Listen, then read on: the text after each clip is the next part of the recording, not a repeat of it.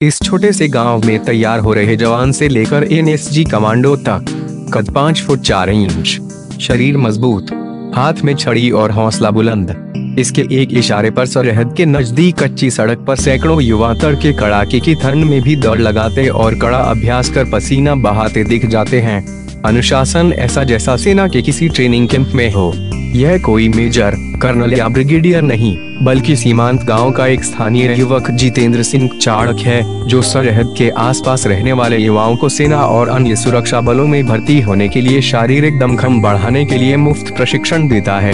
भारत पाक अंतर्राष्ट्रीय सीमा से सटे जम्मू ज़िले की बिश्नाथ तहसील के छोटे से गाँव नौगरा के जितेंद्र से प्रशिक्षण ले चुके युवा भारतीय सेना C R P F B S F और रेलवे प्रोटेक्शन फोर्स में अपनी सेवाएँ दे रहे हैं। यह उनके कठोर परिश्रम का ही नतीजा है कि उनके द्वारा प्रशिक्षित चार युवक जी में बतौर कमांडो तैनात हैं। एक छात्र राजेश शर्मा सेना में हवलदार के पद पर रहते हुए अंतर्राष्ट्रीय शूटिंग पिस्टल का खिलाड़ी है। सीमांत गाँव में जितेंद्र सिंह को अधिकतर युवा सोना चाचू के नाम से जानते हैं। युवा प्रशिक्षण शुरू करने से पहले और बाद में उनके पाँव छूकर उन्हें सम्मान देते हैं। सोना चाचू की कहानी भी बेहद रोचक है। उनमें युवाओं को प्रशिक्षण देने का जुनून अपने छोटे कद की वजह से ही आया। चाचू कहते हैं कि उन्हें ज़िंदगी में एक ही मलाल है कि वे छोटे कद के कारण भारतीय सेना में भर्ती नहीं हो पाए।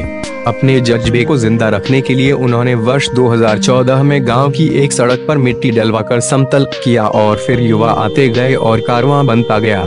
आज उनके पास 450 युवा सुबह शाम प्रशिक्षण ले रहे हैं। खुद पेशे से खेती बाड़ी करने वाले सोना चाचू युवाओं की हर प्रकार से मदद भी करते हैं। जितेंद्र सिंह युवाओं को केवल शारीरिक प्रशिक्षण ही नहीं दे रहे, बल्कि उन्हें लिखित परीक्षाओं के लिए भी तैयार कर रहे हैं। इसमें उनका साथ दे रहे हैं गाँव के ही युवा सुरजीत वर्मा, जो खुद भी कश्मीर प्रशासनिक सेवा की तैयारी कर रहे हैं।